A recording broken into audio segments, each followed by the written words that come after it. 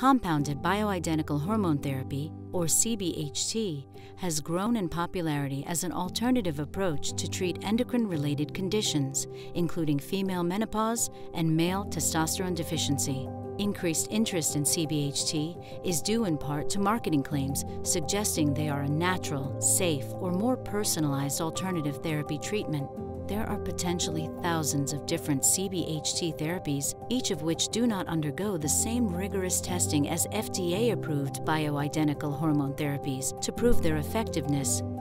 nor has their safety been confirmed by high quality clinical studies. There is not enough high quality evidence to support the overall clinical utility of CBHT preparations as treatment for menopause or male hypogonadism symptoms. Use of CBHT should be limited to patients with unique medical needs who cannot otherwise benefit from an FDA approved hormone therapy product.